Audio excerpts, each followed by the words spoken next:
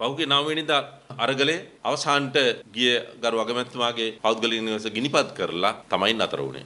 නිවසට ගිනි තැබීම ඉතාමත් සැලසුම් සාගතව සජිත් ප්‍රේමදාස විපක්ෂ නායකයාගේ ක්‍රියාවලියක් මෙහෙවීමක් කියන එක මං අබ්බවම පැහැදිලිව කියනවා.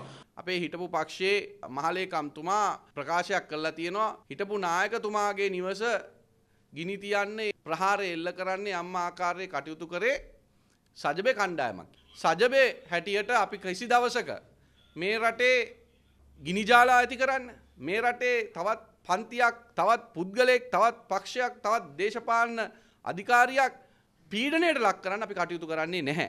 අපි පැහැදිලිව ප්‍රජාතන්ත්‍රවාදී රාමුව තුළ ප්‍රජාතන්ත්‍රවාදී ගමනක සජබයත් සජබ නායකත්වයක් කටයුතු කරනවා. අද මේ රංග බණ්ඩාරල වගේ කීප දෙනෙක් එකතු වෙලා ගහන ගේම ඩීල් එක අපිට පේනවා. අනිල් වික්‍රමසිංහ මහත්තයා ගේ ගෙනීම තියපක වැරදි. කවදා හරි අපි බලයට පත් වුණාම ඒ පිළිබඳව ඉතාම ගැඹුරින් පරීක්ෂණයක් පවත්වන්න අපි අවශ්‍ය කටයුතු කරනවා. ගෙවල් ගිනි තියෙන සංස්කෘතිය අපේ නෑ. සමග ජන බලවේගයෙන් නෑ.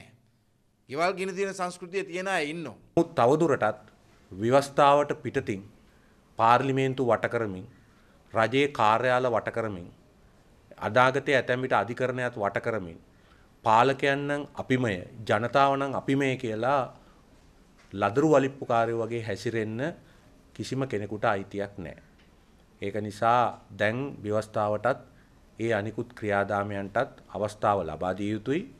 ප්‍රචණ්ඩකාරී ලෙස ප්‍රජාතන්ත්‍ර විරෝධී ලෙස හැසිරෙන සියලු කල්ලි කණ්ඩායම් වලට එරෙහිව ඒවා මැඩ පැවැත්වීමට කටයුතු කරන ලෙස අප සියලුම ආරක්ෂකාංශ වෙතින් ඉතා උනෑකමින් ඉල්ලා සිටිනවා. මේ රට ඇදගෙන යන්නේ අන්තර්ජාතික දඩමිමක් දෙසට ආසියාවේ ලිබියාව දෙසට නොයසේ නම් ඉන්දියාවේ විසි නමවෙනි ප්‍රාන්තය දෙසට බව මේ සමස්ත ජනතාව බලවත් අවබෝධයට ගෙනීමට කටයුතු කරන ලෙස සියලුම පූජ්‍ය පූජක පක්ෂයෙන් දේශපාලන පක්ෂවලින් සහ දැනුගත් පුරවැසියන්ගෙන් අපි ඉල්ලා සිටිනවා.